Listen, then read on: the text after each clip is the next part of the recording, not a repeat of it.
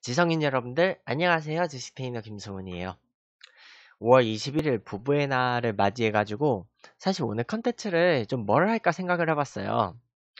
그래서 오늘 컨텐츠는 그 어차피 부부의 날인데 그 사실 부부의 날은 역사적으로 그렇게 길게 된 날은 아니거든요. 음. 근데 이 부부의 날은 사실 요즘에 그 이제 가족의 형태가 많이 바뀌었기 때문에 옛날에는 어, 어쩌면 이 부부, 부부는 이제 사회에서 가장 작은 규모의 집단이 가족이었잖아요. 그리고 그 가족이 원래 그 가족이 가족에서 제일 자, 그 기초적인 가족은 원래 부부에서 시작을 하는 거기 때문에 그래서 그런 의미에서 부부가 중요한 거예요. 음. 자, 그런 의미에서는 중요한데, 이, 이 부부라는 것이, 응? 그래. 남자하고 여자하고 이렇게 만나가지고 부부가 되는 거잖아요.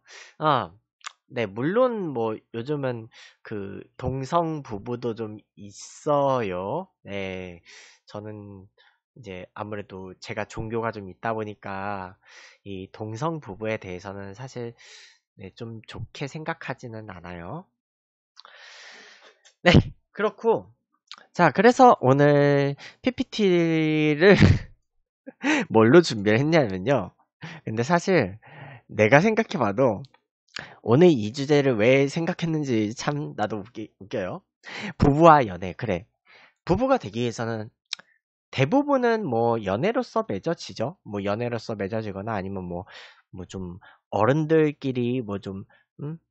어른이 누군가를 소개를 시켜줘 가지고 만나서 결혼을 하든가 아니면 이제 그 요즘은 그 결혼 정보 업체 있죠. 그래서 사람을 소개해주는 그 업체의 도움을 받아가지고 네, 사람을 만나서 그 약간 그렇게 이제 만남을 통해서 그 사실 좀 약간 요즘은 그래 업체를 통해서 만날 수도 있어요. 요즘은 그래 그 결혼 정보 회사들 좀 많잖아요. 가끔씩 저한테도 전화 걸려 오던데.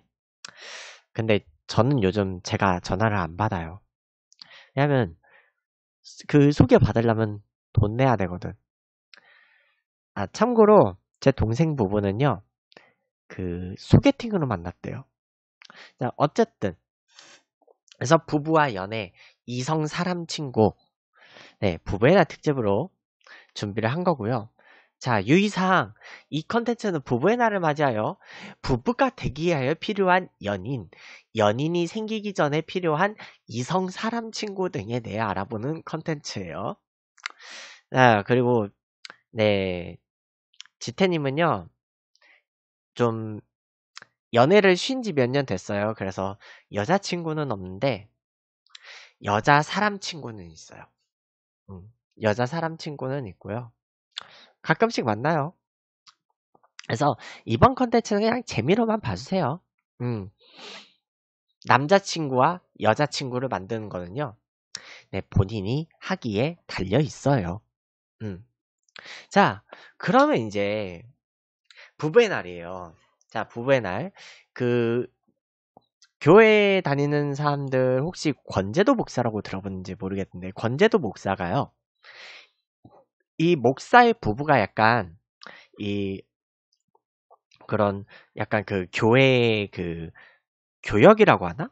어쨌든 그 활동 중에서 약간 부부와 관련된 그 뭐냐 교육 활동을 많이 했다고 해요. 그래서 1995년에 이제 부부의 화합과 가정의 소중함을 일깨우자는 취지로 부부의 날을 처음 제창을 해서 아마 그 이제 본인의 그 교회에서 활동을 하기 시작을 했어요.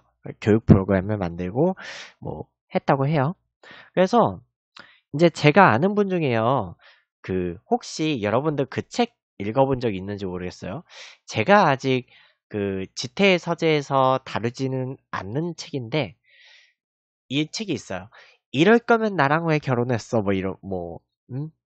그런 책이 있어요. 그 뭐냐 그 이수경 선생님이라고 제가 그 가끔씩 뵀던 분인데 그분이 그 이수경 선생님이 그 썼던 그 책 중에 이럴 거면 나랑 왜 결혼해서 뭐 아마 그 제목 맞을 거예요. 제목이 좀 길어가지고.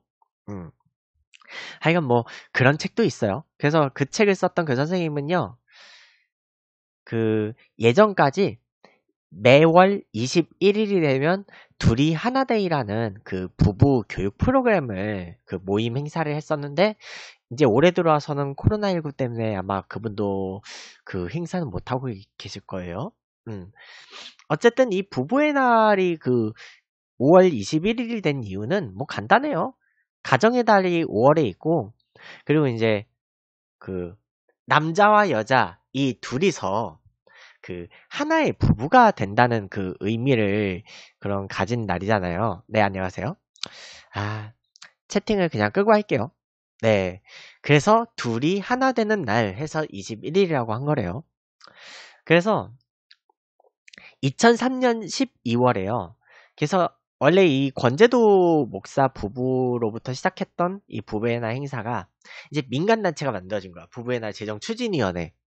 그래서 법정 기념일로 만들자 해서 2000 그 국회에서 통과가 돼서 2007년 5월 21일에 국가 공인 기념일이 돼요.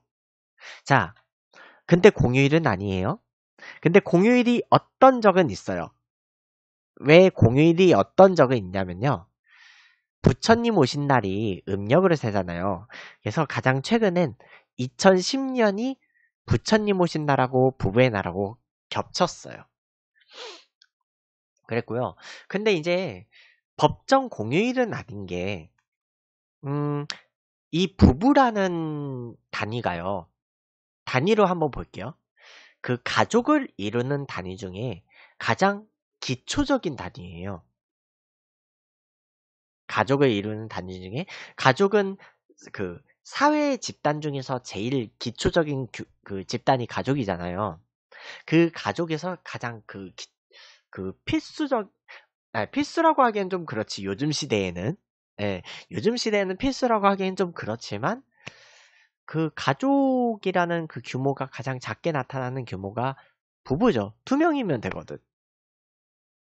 독신 가족도 있긴 하지만, 독신은 빼고, 독신을 제외했을 때 보통 부부가 제일 기초적인 가족의 단위가 되죠. 그래서 일부 가정의 불화나 뭐 사, 요즘은 이제 사회적 경제적 문제 등이 좀 있으니까 그래서 가족의 구성원 변화가 좀 잦아요. 그러니까 뭐 결혼을 했다가도 서로에 대한 사랑이 식어서 이혼하는 경우도 있고요.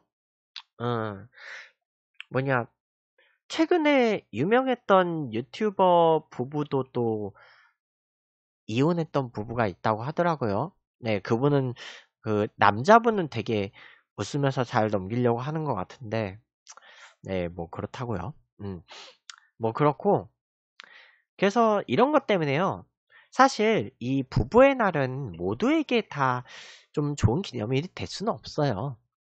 또 이제 21세기 들어와서는 이제 뭐 한 40대, 50대쯤 가서 결혼하는 만혼이라든지 그 혹시 이제 그 젊을 때 오지 여행가로 그 오지 탐험가로 활동하다가 그 이제 여행 한, 한 번, 여행 한번 쫙 다녀오고 나서 그 긴급 구호 활동으로 그 하는 혹시 그 사회 운동가 분 중에 그 한비아 비아 자매님이라고 아는지 모르겠어요. 그러니까 그분이 그 집안이 이제 가톨릭이어가지고 그 세리명 비아를 따가지고 이름을 비야라고 했는데 하여간 그분이 아마 지금은 60대쯤 되신 것 같은데 그분은 한 60대가 돼서야 결혼을 하시더라고요. 음. 뭐 어쨌든 그렇게 만원을 하시는 분들도 있고 안 하는 분들도 있죠. 비혼도 있죠. 그리고 저출산 낳지 않는 어, 좀 저출산 현상으로 인해서 우리나라 출산율이 엄청나게 떨어지고 있죠. 그리고 결혼을 안 했거나 아니면 이제 최근 드라마 제목도 있긴 한데 한 번 다녀왔던 사람들한테는 좀 다소 불편한 날일 수도 있어요. 네. 좀 한 번 다녀오고 싶네요. 음. 한 번 다녀오고 싶은데. 아, 한 번 가서, 한번 가서 그냥 오면 안 되겠지만. 음. 자, 그러면 그래 부부에 대해서 한번 어원적으로 한번 생각을 해볼까요? 자, 부부. 서로 혼인 관계에 있는 두 사람을 묶어서 부르는 표현이 그 부부 두 사람을 같이 쌍으로 묶어서 부르는 거죠. 자, 근데 옛날에는요 10대에 결혼을 하는 부부가 있었어요. 이게 왜 우리나라 역사적으로 이 그 10대에 결혼하는 사람들이 좀 있었냐면요.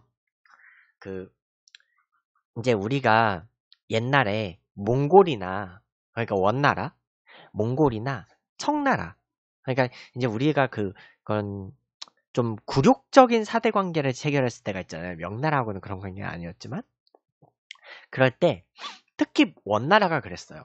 특히 원나라가 몽골이 음 이제 고려 왕실이 원황실의 그 부마 제후국이 된 거잖아. 제후들 중에서 제일 높은 서열이었어. 제후국 중에. 그래서 그 고려 왕 같은 경우는요. 이제 몽골의 그 황제의 부마가 됐었기 때문에 그 몽골의 그 군주 황제를 칸, 가한을 결정하는 그 쿠릴타이라는 회의도 참석할 수 있었어요. 뭐 어쨌든 그렇게 뭐 권위는 많이 올라갔었지만 그런데 이때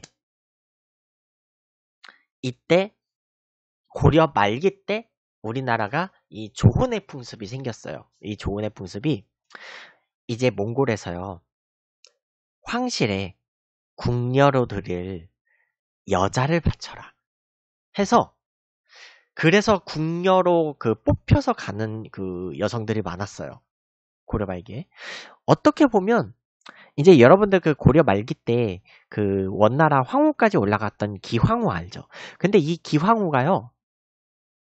그냥 궁녀가 아니고요. 고려에서 뽑혀서 갔던 궁녀예요. 고려 출신이에요. 궁녀 출신으로 몽골 황실에 들어가서 그 아마 몽골 원나라의 마지막 황제가 순제일 거예요. 그 순 제 시대 때 황후까지 올라가요. 그런데 그러면 이제 황후가 되면 그 오빠인 기철이 고려에서 굉장히 뭔가 실세가 됐어야 됐는데 하필이면 그때 고려의 왕이 공민왕이었어요. 공민왕이 기철의 일당을 제거를 해요. 그래서 이제 기왕후는 그때 빡쳤죠. 그래서 그 공민왕을 폐하고 막 그 다른 왕족을 뽑아서 그 왕에 앉히려고 했었어. 근데 이제 그건 실패를 하죠. 뭐 어쨌든 그래서 이때 이제 그 조혼의 문화가 생긴 거예요. 그 결혼을 하면 일단 궁녀로 선발이 안 되거든. 결혼하면 궁녀 선발이 안 되니까 이때 딸을 다른 나라에 보내고 싶지 않아 가지고 일찍 결혼시켜 버리는 풍습이 있었어요. 근데 이게 그 딸을 가진 집안이 일찍 결혼을 시키는 거에 해당이 됐다 보니까요. 그래서 이 꼬마 신랑이라는 말이 생긴 거예요. 꼬마 신랑이라는 말이 생겨서 이 그래서 이제 그 일찍 결혼하는 풍습이 좀 있었기 때문에 음막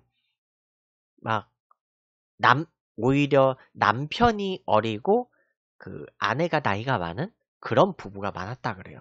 조선 왕실도 나이가 많은 왕후가 더 많았어요. 꽤, 꽤 많은 편이었어. 이게 왜 그렇게 됐냐면, 사실 그런 목적도 있어요.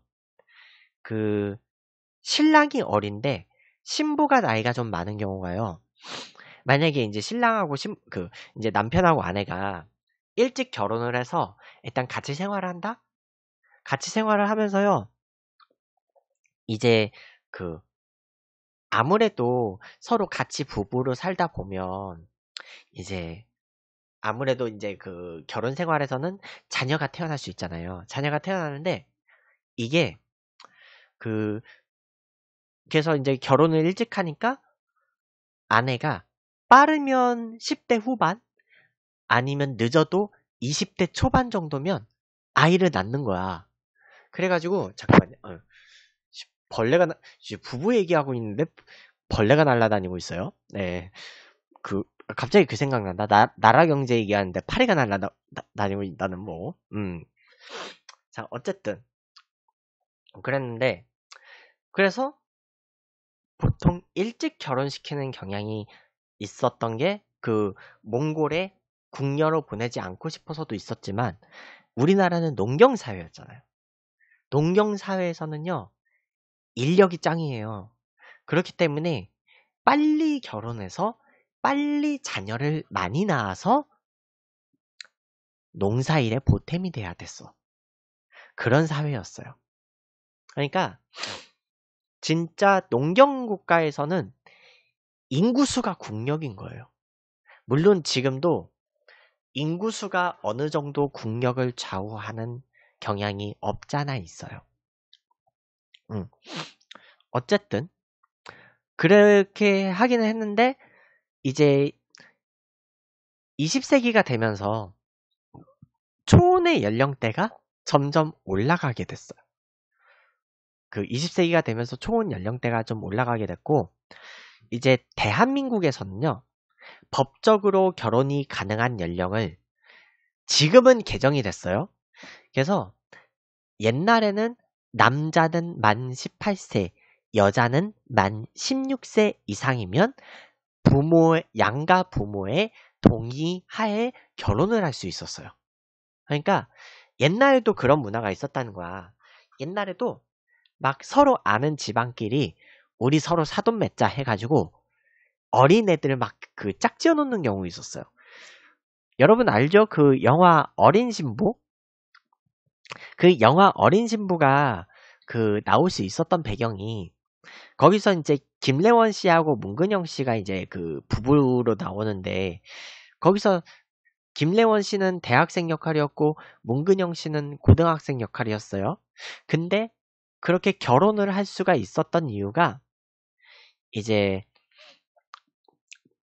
무엇이냐 법적으로 결혼은 할 수 있었던 나이였던 거야.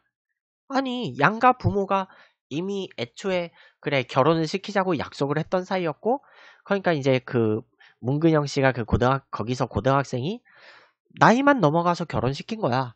집안 그 집안 어른, 어른들의 그 약속으로 인해서 그렇다 보니까 처음에 이제 서로 그 감정이 쉽게 안 오죠. 그리고 어른들이 이제 아무래도 거기서 이제 문근영 씨가 고등학생 역할로 나오니까 그 집 집안에서도 어, 그 뭐냐 결혼은 시켜놓고 나서 그 뭐냐 생활을 하면서 정해놓죠. 졸업할 때까지는 각방이다. 응. 그래서 이제 고등학교 졸업할 때까지는 각방. 뭐 어쨌든 뭐 그런 집안이 있었다는 거야.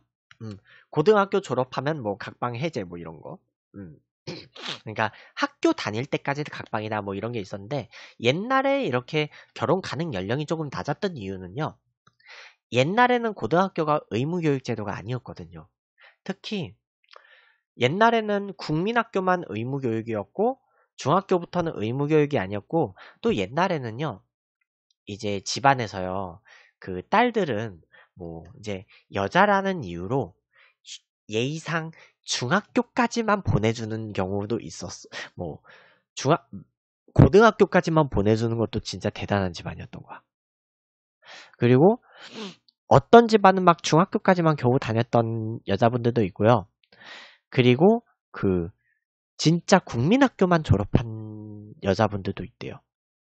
그래가지고 생긴 학교가 혹시 그런 대안학교 중에 그런 학교들이 있어요. 저기 그 마포구에 그 이대 근처에 그 일성 여자 중고등학교라고 있거든요. 그 일성 여자 중고등학교가 어떤 학교냐면 그냥 여중 여고가 아니에요. 일반 여중 여고가 아니고 대안학교예요. 그 근데 어떤 사람들을 위한 대안, 대안학교냐면 어렸을 때 이런 사회적인 그 시, 사회적인 그 약간 그런 이념, 약간 이런 문제로 인해서 사회적 인식 문제로 인해서 중학교하고 고등학교를 다니지 못했던 여자분들을 위해서 만학의 기회를 주는 그런 학교였던 거예요. 어쨌든 뭐냐, 내가 다녔던 그 고등학교 근처에 그 학교가 있었어요. 음. 음. 그렇고요 어쨌든, 그래서 그때는 남자가 만 18세, 여자가 만 16세 이상이면 결혼할 수 있었어. 자, 만 18세면 고등학교 3학년 중에 보통 생일이 지나요. 어쨌든 그렇기 때문에 부모의 동의가 필요하다고 한 거지. 자, 그런데 그래서 옛날에는요. 만 20세 이상이 되어야 부모의 동의가 없어도 자유롭게 결혼할 수 있었어요. 그런데 이 부분은 만 19세 이상으로 내려갔어요. 이게 왜 그러냐면 그 요즘 그 투표권도 한 살 내려갔잖아요. 그런 것처럼 이제 내려가게 된 거야. 좀 그 이제 고등학교를 졸업하고 나면 그런 거에 대해서 부모의 동의 없이 결혼할 수 있다. 뭐 이런 얘기가 나온 거지. 자, 그런데요. 아무래도 이제 그래 결혼이 가능한 연령대가 만 19세 이상이라고 해. 그런데 문제는 그 나이 전에요. 사고를 치는 남녀가 간혹 있단 말이에요. 그래서 사고를 치면서 생긴 자녀를 이게 호적에 동생으로 등록한 사람들도 간혹 있어요. 그 뭐냐 혹시 여러분들 그 만사마 알죠? 만사마 그 코미디언 정만호 씨. 이 정만호 씨가 예 본인이 이제 방송에 출연해서 얘기한 건데 아들이 둘이 있어요. 근데 이 두 명의 아들을요. 첫째를 호적에 자기 동생으로 넣었대요. 이게 왜 그러냐면 너무 어릴 때 애가 생겨버린 거야. 너무 어릴 때 애가 일찍 생겨버려가지고 결혼이 법적으로 불가능한 나이에 애가 생겨버려서 어쩔 수 없이 호적을 자기 동생으로 넣었대요. 그리고 이제 그 아내하고는 나중에 뭐 이제 애가 생겼으니 어쩌겠어. 법적으로 결혼이 가능했던 그 나이가 되면서 또 바로 결혼을 또 한 거지. 음. 그래서 결혼을 또 했고, 음, 그래서 결혼을 또 했는데, 이제 그게 된 거야. 그래서 그때는 이제 그 둘째는 정상적으로 호적에 등록을 했다 그래요. 뭐 그랬는데, 어, 아마 제가 알기로는 그 만사마 정만호 씨가 그, 그 아이 둘의 엄마 분하고는 아마 헤어졌다고 들었어요. 좀 안타깝지만.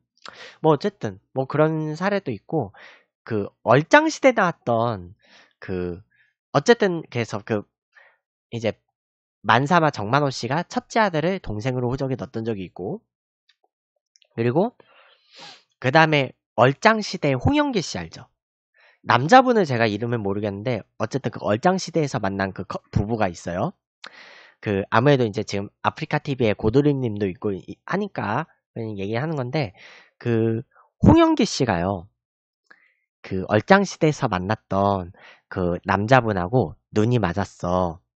그래서 눈이 맞아서 사귀는데 아무래도 이제 좀 되게 약간 자유로운 그런 연애를 했다 보니까 너무 사랑이 불탔던 거야. 너무 사랑이 불타서 덜컥 홍영기 씨의 그 뱃속에 아기가 생긴 거야. 근데 이 아기가 생겼는데 문제는요. 그 당시에 홍영기 씨의 남자친구분이 법적으로 만 18세가 안 된 거예요. 홍영기 씨가 연, 연상이야. 홍영기 씨가 연상인데 홍영 그 그래가지고 그 그래서 그때 그 남자친구분이 나이가 어렸었는데 근데 이제 겨, 이제 사회적으로 인식이 좀 그랬을 거예요. 그랬는데 여기서 이제 홍영기 씨하고 홍영기 씨의 남자친구분은 아이를 낳아서 키우는 거 키우고 결혼 결혼하고 아이 낳고 키우고 선택을 했어요. 그래서 이제 아마 혼인 신고는 늦게 했겠죠. 혼인 신고는 좀 늦게 하고 그 아이는 낳았고 그래서 지금 이제 결혼해서 이제 살고 있는데 아마 지금 남편분 그래서 이제 군대 간 걸로 알고 있어요. 남편분 이제 군대 갔고 그래서 홍영기 씨는 지금 아마 지금 쇼핑몰 사업하면서 그 유튜브도 하더라고요. 네. 뭐 어쨌든 뭐 그런 케이스도 있어요. 자, 근데 이제 요즘은 그런 경제 불황으로 인해서 그 좀 뭐 경제적 불안 요소라든지 아니면 뭐 개인의 자유를 중시하는 사상의 변화 등으로 인해서 요즘은 빨리 결혼해도 한 30대에 결혼하는 케이스가 많아요. 아, 참고로 내 동생 부부는 20대에 결혼했어요. 음. 내 동생 부부는 20대에 결혼했고, 그, 애 생겨서 결혼한 건 아니고. 근데 그런 경우 있어요. 요즘도, 그러면, 그러니까 요즘도 간혹 그 30대 되기 전에 결혼을 하는 분들 있어요. 요즘도 있는데, 그런 경우는 진짜 둘이 서로 잘 맞는다 생각해서 결혼을 결정할 수도 있고요. 그리고 네. 아이가 생겨서 결혼한 경우도 있겠죠. 응. 아기가 생겨서 결혼한 경우 생각보다 꽤 많아요. 어. 그러니까 아기가 이 남자와 여자를 가족으로 만들어준 거야. 그 사이에 아기가 생겨서. 응. 가족으로 가족으로 만들어주는 매개체가 될 수도 있는 거야. 어. 참 어, 어, 이게 어떻게 말하면 좀 그렇긴 한데 그래서 사실 그래서 결혼한 분들 꽤 있죠. 음. 사실 그래. 좀 이런 예를 들어도 될런지는 모르겠지만 지난 주말에 전역한 철구님, 철구님하고 지혜님, 네, 그 연지가 생겨서 결혼했죠. 네.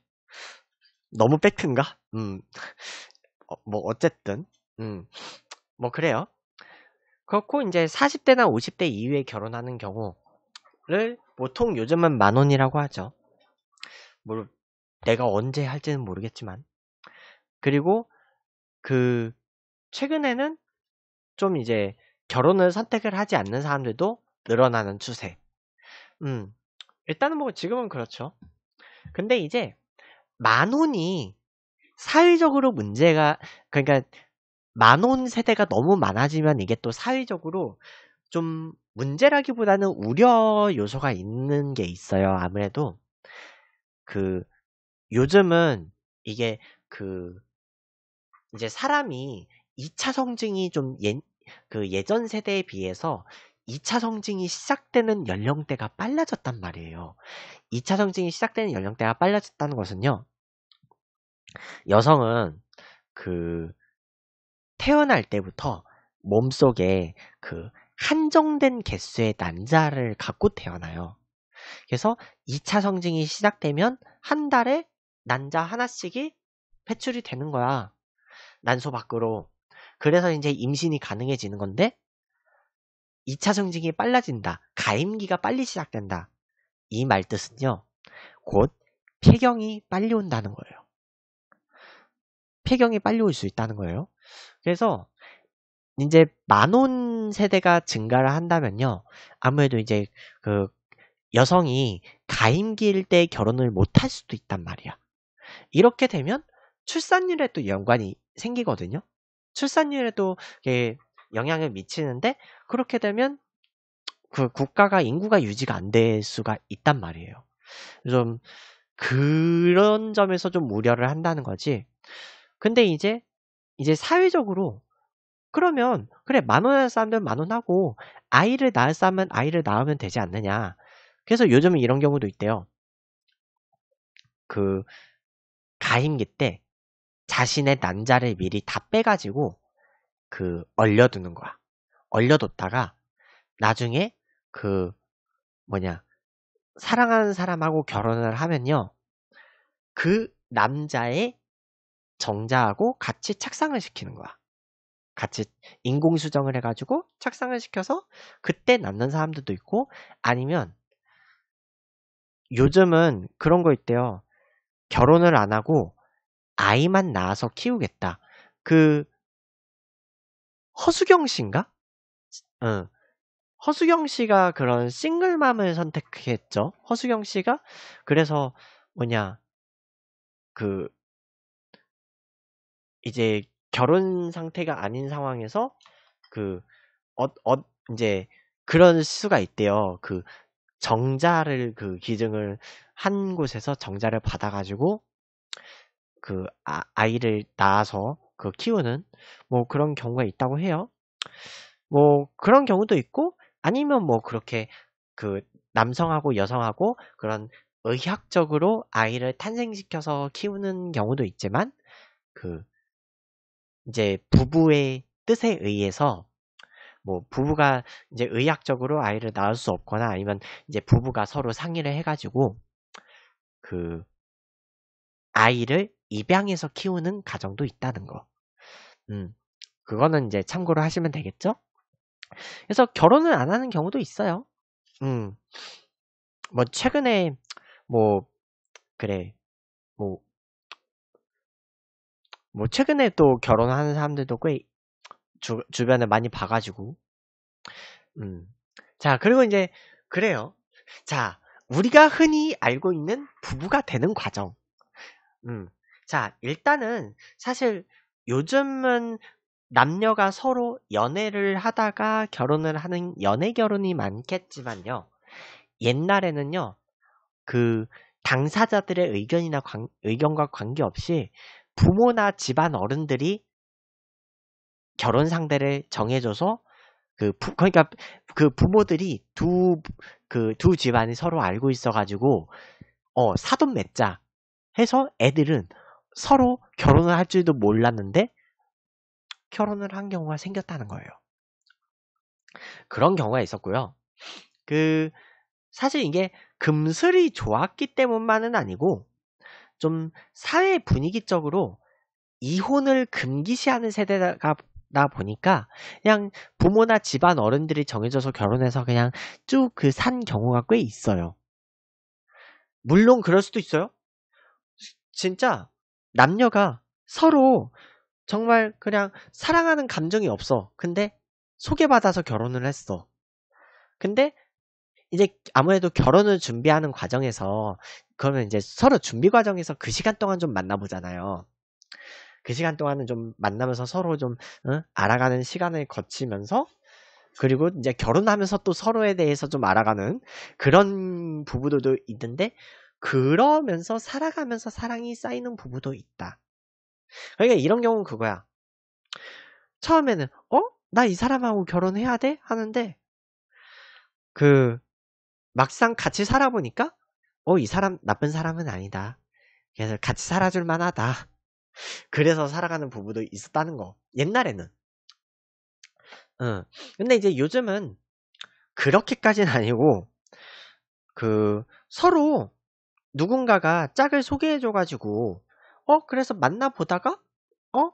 어 이 사람 좋은 사람이다 해서 결혼할 수 있어요. 음, 뭐 결혼할 수 있다는 거고. 음. 그러면서 네, 할 수 있고. 그래서 이제 옛날에는 결혼 전 후로 식을 올리기 전 후로 혼인신고를 하는 게 진짜 그 국룰이었는데 요즘은요 좀 살아보고 나서 혼인신고를 하는 부부들도 있다고 그래요. 근데 혼인 신고를 하지 않을 경우 법적으로 부부로 인정이 안 되잖아요. 동거인이거든. 그 배우자가 아니고. 그렇기 때문에 가족 관계로서의 권리를 인정받지 못할 수가 있어요. 그래서 이번에 그 키움 히어로즈의 외국인 야구 선수 있죠. 테일러 모터. 테일러 모터가 최근에 그 이제 그 테일러 모터의 연인이 한국으로 들어왔대요. 그래서 그 자기들 말로는 그 뭐냐 아내다, 어? 결혼을 약속한 사이다, 어? 피앙세다, 뭐 이런 얘기를 하기는 한 것 같은데 어쨌든 뭐 걸프렌드라든지 뭐 와이프라고 한 와이프라고 얘기를 한 것 같아. 그런데 문제는요 테일러 모터하고 이 테일러 모터의 여자친구가 법적으로 혼인신고를 안 한 사이였던 거예요. 그래가지고 이제 이제 모터의 여자친 여자친구라고 불러야죠 그러면 모터의 여자친구가 한국에 들어왔는데 대한민국 정부에서는요, 그 법적으로 혼인신고를 하지 않았기 때문에 배우자로 인정할 수 없다 해서 정부가 지정해준 별도의 시설로 이동해서 그래서 별, 정부가 지정해준 시설에서 격리를 하고 있대요. 근데 이제 그런 게 있어요. 그 외국인 선수의 부인이면요. 법적 부, 혼인신고를 했었으면 법적 부인이면요. 이게 그 우리나라에서 장기적으로 거주하면서 일하는 그런 근로자, 노동자의 부인이기 때문에 가족이기 때문에 자가격리를 할 수 있어요. 그러니까 모터가 만약에 그 여자친구하고 혼인신고를 했었다면 네 자가격리할 수 있어요. 그럼 모터가 이제 그 당분간은 집에 안 들어가고 그 뭐냐 호텔에서 머물거나 아니면 동료 선수의 집에서 잠깐 자면 되겠지. 근데 그게 안 됐단 말이야. 그래서 이번에 테일러 모터하고 모터의 여자친구하고 서로 SNS에서 좀 시끌시끌 했잖아요. 그래서 만약에 그렇게 뭐 공식적으로 자신의 남편, 아내 이런 거를 관계를 증명을 하려면요. 공식적으로 법적으로 혼인 신고를 해야죠. 법, 법적상으로 혼인 신고를 하고 이제 성당 교적상에서는 혼인 성사를 하면 돼요. 음. 그렇고요. 어, 그래서 이제 간통 등을 통해서 그 사람과 애정 관계를 맺었을 때 몇 년 전까지는요. 그 간통법이 간통법 그 간통죄가 있었어요. 그 간통 혐의로 기소를 할 수 있었어요. 옛날에는. 근데 아마 2015년에 이 간통과 관련된 내용이 그 가, 그 가정 그 민법의 그 개정이 이루어져 가지고 그 간통이 이게 그 가정 가정법상 범죄에 해당되지 않게 됐어요. 다만 이 간통으로 인해서 기존의 부부 관계를 맺었던 부부가 이 간통이 이혼 사유가 될 수는 있어요. 이혼 사유가 될 수는 있는데 범죄는 아니라는 거예요. 어. 그러니까 요즘은 그런 거예요. 그 다른 사람을 선택해서 또 결혼을 할 수도 있다. 약간 이렇게 생각을 인식이 바뀐 것 같아. 응. 좀 씁쓸하기는 해요. 응. 어쨌든 부부 관계가 파괴될 수는 있다. 그렇고 어 어쨌든 그래 새로운 결혼을 할 수는 있다는 거예요. 음. 어쨌든 뭐 그렇단 얘기고. 음, 그리고 이제 민법에서의 부부의 의무가 있어요. 동거, 부양, 협조의 의무가 있다 그래요. 근데 사실 그래 아주 강 강제할 수는 없어요.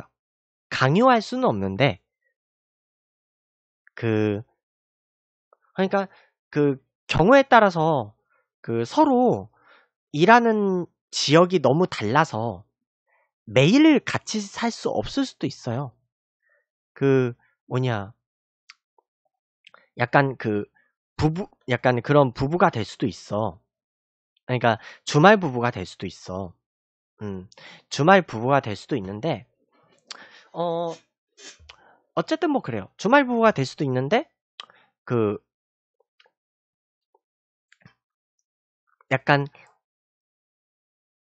주말 부부, 주말 부부 부부면 이제 음 약간 그 법적 그 호적 관계가 되게 좀 뭔가 주민등록이 어떻게 진행이 될지 모르겠어요. 음. 뭐 그렇다고 하고요. 그래서 거주지가 다를 수는 있다는 거예요. 그렇고 이제 부양. 그 부양은 서로 배우자가 만약에 뭐 경제적으로 능력이 안 되거나 아니면 이제 신체적으로 좀 몸을 움직일 수 없거나 이럴 때 도와줘야 된다. 뭐 이런 얘기가 있다는 거예요. 음. 그래서 민법의 제826조 1항에 해당되는 내용이 있고요. 음. 그 다음에 이 뭐냐 정조. 이 정조는요 민법상 의무는 아니에요. 민법상의 의문인데 이 정조를 지킨다는 거는요. 서로의 결혼 관계 사이에 금이 가서는 안 된다는 거지. 그거는 사실 이거는 법적인 문제가 아니고 두 사람 사이의 약속이에요. 음. 그런 거고. 자, 그리고 이제 부부의 호칭이 있어요. 자, 근데 이 가족 관계 호칭의 경우는요. 표준 국어 대사전에 올라와 있어요. 그래서 그 보통 부부끼리 이제 제3자에게 결혼한 상대를 일컫는 포괄적인 어휘로 배우자라고 할 때가 있어요. 그러니까 내가 다른 사람한테 나는 배우자가 있어요. 하고 얘기를 하거나 아니면 내가 친구한테 그래 그 배우자 그 배우자 어. 아니면 이제 뭐, 뭐 누구의 배우자. 약간 뭐 이럴 수 있잖아요. 아무래도 뭐 그쵸? 뭐 누구님의 배우자. 뭐 이렇게 얘기할 수 있는 거지. 그리고 여보. 보통 상대방을 부를 때 제일 많이 쓰는 호칭이 있죠. 여보. 영어로는 허니 응. 이렇게 부를 수 있고요. 아니면 당신이라고 할 수도 있어요. 근데 이제 상, 사실 이 당신이라는 표현은 you를 뜻하는 너, you, 영어로 you를 뜻하는 2인칭 대명사의 높임말이에요. 그리고 이제 자기 요즘은 자기라는 마, 표현은 연인 관계에서도 상대방을 부를 때 어, 자기야 뭐 이렇게 할 수 있잖아. 음. 아, 자기라고 부를 수 있는 사람이 없네. 응. 임자. 나이 많은 부부들 중에서는 서로를 부를 때 쓰기도 하죠. 그래서 사극에서 이보시오 임자 하는 그런 말도 있었죠. 그렇고요. 자, 그럼 이제 남편에 대한 호칭이 있어요. 남편에 대한 호칭. 제 3자에게 지칭할 때는 남편, 그이, 바깥 사람 이렇게 그 뭐 표현하는 방법 그 표현 등이 있고요. 그리고 근데 요즘은 바깥 사람이라는 얘기는 잘 안 쓰는 것 같아. 왜냐면요. 남편을 바깥 사람이라고 하고 아내를 안 사람이라 하는 경향이 있었는데요. 근데 요즘은 서로 반대가 될 수도 있거든. 음. 자, 그리고 이제 서방. 서방이라는 표현이 있는데 처갓집 사람들이 남편을 말할 때 음, 이런 표현이 있고요. 그 다음에 이제 아비, 애비, 아범 해서 그 아이가 있는 남자를 지칭하는 표현. 음. 이기도 하고요. 그 다음에 누구 아빠. 그래서 아내가 남편을 지칭할 때 쓰는 그런 표현이 있죠. 그 다음에 이제 부군. 상대방의 남편을 부르는 높임말. 자, 그리고 이제 현벽이라는 표현이 있어요. 이거 한자어인데요. 사망한 남편을 지칭하는 말로 충문이나 지방에서 남편을 현벽이라고 쓰는 거예요. 근데 이때 남편이 손 윗사람, 자기보다 나이가 많은 남편일 때만 현자를 붙이고 남편을 의미하는 글자는 벽이라고 해요. 자, 그리고 요즘은요, 그 아내가 어릴 경우 아내가 남편을 부를 때 오빠라는 표현을 좀 쓸 때가 있죠. 그래서 윤댕님이 대도님을 부를 때 오빠라고도 부르더라고. 음. 그런다고 해요. 그 한나님은 그 친구였던 분하고 결혼됐다고. 음.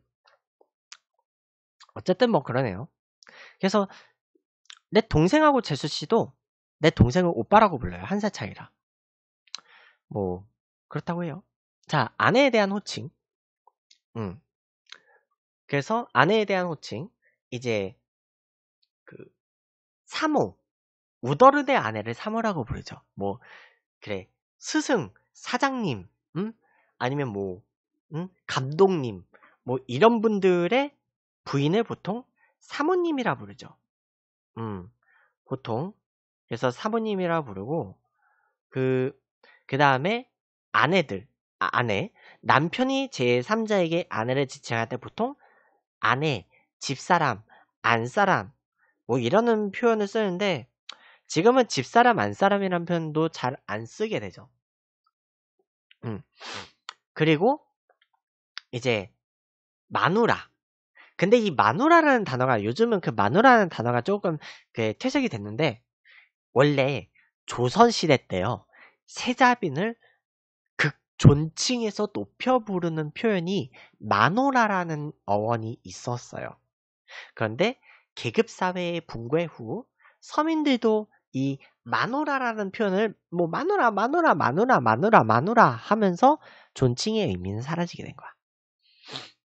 그리고 이제 부인이라는 표현은 남의 아내를 높여서 부르는 표현이고요. 그리고 누구누구 엄마. 누구누구 엄마는 남편이 부를 때 사용한다. 응. 그래서 이런 거 있어. 예를 들어서 엄, 우리 엄마가 아빠를 볼 때 승훈이 아빠 옛날엔 그랬다는 거야. 그랬다는 거고요. 그리고 아가라는 표현. 이 아가라는 표현은요. 보통 시부모가 며느리를 좀 그 친근하게 부를 때 그 쓰는 표현. 어. 새아기 이런 표현 있잖아. 음. 어쨌든 그리고 이제 고실, 망실, 현실 이런 표현은 사망한 아내를 지칭하면서 충문 또는 지방에서 쓰는 역시 한자어인데요. 역시 여기서도 현실은 현자가 연상의 아내일 때 쓴다고 해요. 자, 그 다음에 이제 여사. 여사라는 표현은요. 중국에서 후궁을 섬기던 여관을 부르던 호칭이에요. 후궁을 섬기는 여관. 그 여, 여자 내관. 음, 여자 내관이에요. 내시가 아니에요? 음, 그 환관, 환관이 아니에요. 그 고자가 아니에요. 그 부르던 그 호칭이라 그래요. 근데 지금은 결혼한 여자에 대해서 존칭으로 쓰는 여사라는 표현이 있죠. 그래서 그 지금은 공식적으로 누구 여사, 누구 여사 이런 표현을 쓰는 경우가 그냥 사회적으로 굉장히 그 유명한 여사 아니면 그 보통 대통령의 가족들한테 그래서 대통령의 그 모친 또는 대통령의 부인 이런 분들을 여사라는 표현을 쓰죠. 음. 그렇고 처 처는 윗사람에게 남편이 아내를 소개할 때 쓰는 한자어라고 해요. 뭐 어쨌든 뭐 이런 언어들이 있, 었다 음, 하고 이제 하면 되겠고요. 자 그러면요. 그럼 이제 결혼을 하려면 일단 애인이 있어야 되잖아요. 애인 서로 깊게 사랑하는 관계에 있는 상대가 방을 말하는 거예요. 그 사랑할 애자에 사람 인자를 넣어가지고 애인이라고 부르는 건데 사실 애인보다 좀 더 그러니까 애인은요 그냥 내가 사랑하는 사람일 뿐이에요. 근데 사실 공식적으로는 연인이라는 표현을 쓰는 것이 바람직해요. 그러니까 3인칭으로 부를 때는 연인이라 부르는 게 맞아요. 이게 왜냐면요. 연인은 이제 영어로 직역하면 커플이겠죠. 근데 이게 왜 그러냐면요. 중국에서는요. 애인의 그 범주가 달라요. 우리나라에서는 그냥 서로 사귀면 서로를 애인이라고 부를 수 있는데 중국에서는요. 남편이나 아내를 애인이라고 불러요. 그리고 그 중국에서는 연애 중일 때는 그 연인이라고 불러요. 그래서 그 원래 이제 제가 중국어를 좀 배웠으니까 그 원래 중국 그 이제 중국어로요. 그 중국어로 친구가 펑요, 펑요, 펑요라는 그 표현이 있어요. 중국어로 펑요라는 표현이 있고 근데 남자친구라는 표현은 내가 굳이 머릿속에 외우고 있진 않아요. 근데 여자친구라는 그 표현이 중국어로 니펑요, 니펑요라는 표현을 쓰고요. 근데 그러면 여자인 친구를 니펑요라고 부를 수는 없는 거잖아. 근데 중국에는요. 여자 사람 친구라는 표현이 있어요. 그러니까 여자 여자 친구 말고 여자인 친구, 여자 사람 친구라는 표현이 뉘싱펑요라는 표현이 따로 있어요. 진짜 중국어는 있어. 그래서 중국 중국어에서는 여친하고 여사친을 구분해서 부를 수 있어요. 중국어는 그런 시스템이에요. 그렇고요. 일본에서는요. 일본에서 애인이라고 부르면요. 되게 불륜적인 표현이 된대요. 그래서 그 일본에서는요. 그 첩이나 정부를 뜻하는 말이 애인이에요. 그래서 일본에서는 연애 중인 사람은 연인이라고 불러야 되고요. 아시아 태평양 전쟁에서 일본이 패한 이후에 원래는 그 전에 애인이라는 표현을 썼었는데 이제 아시아 태평양 전쟁에서 패한 이후로 좀 그 약간 그런 게 있었나 봐요. 그래서 애인이라는 표현은 이제 정식 부인이 아니고요. 그 첩이나 아니면 그 정부, 정을 준 남자, 뭐 약간 이런 그 응? 정을 준 사람 해가지고 그런 불륜의 의미로 쓰이는 게 일본에서의 애인이라는 말이래요. 음. 그러니까 일본에서 아이시테루라는 그 표현을 쓰면 뭐 그럴 수 있다는 거예요. 그 그래 그 이거에 대해서는 제가 나중에 뭐 야매쌤 야매쌤하고 만날 수 있게 되면 그분하고 한번 그 그분 쌤한테 한번 좀 물어보는 걸로. 음. 그렇고요. 자, 그럼 이제 영어권에서 영어권에서는 lover 사랑하는 사람 lover라고 부르면요. 이거는요. 영어권에서 lover라고 부르면요. 관계를 위한 상대라는 느낌이 좀 강하대요. 그래서 그 영어권에서는 남자친구면 boyfriend, 여자친구면 girlfriend 이렇게 부르는 게 좋고요. 그리고 이거는 이따가도 사실 얘기할 거긴 한데 영어권에서 남사친하고 여사친을 부를 때는요. boy 더 boy 띄우고 friend 그리고 girl 띄우고 friend 네 이렇게 표현을 한다고 해요. 그렇다고 하고요. 그 그렇게 부르는 게 좋고 그 이제 어쨌든 그러면 이제 영어권은 그래. 영어권에서는 그렇고 이제 요즘 영어권에서는요. 캐주얼 러버라는 그 또 애매한 관계가 있어요. 그러니까 연인도 아니고 친구도 아니고 그런 좀 그 어중간하게 그 썸 타는 관계 있죠. 그 썸 타는 관계가 casual lover예요. 음. 참고로 그 casual lover라는 개념을 우리나라에 와, 갖고 와가지고 그 프레젠테이션에서 동영상으로 그 소개했던 분이 있는데 그분은 최근에 결혼하셨더라고요. 음. 자, 그렇고요. 그 이제 이성 친구. 자, 이제 이성 친구. 이성 친구에 대해서 이제 알아보는 건데 원래 남자친구하고 여자친구는 원래 표준어가 아니에요. 응. 그래서 영어에서요. 보이하고 걸을 프렌드한 단어하고 띄우면요. 남사친, 여사친이 되는 거예요. 음. 그래서 남사친, 여사친 이 어원의 의미는 사실 21세기에 들어와서 많이 증가한 추세죠. 그러니까 이게 왜 이렇게 됐냐면요. 다른 나라에서는 그냥 친구야. 다른 나라에서 그냥 그 friend 또는 뭐 그래 classmate 학급 친구, 학급 친구는 뭐 classmate 뭐 이럴 수 있잖아. 음, 그럴 수 있는데 우리나라가 유독 이 남사친, 여사친 이렇게 강조를 하는 이유는요. 우리나라에는 이제 남녀 칠세 부동석이라는 관념, 고정관념이 있었어요. 지금은 좀 많이 그 희미해진 관념이긴 한데 이게 최근에는 남자하고 여자하고 그 이제 좀 그런 거리가 그 인간관계의 거리가 많이 줄어들었잖아요.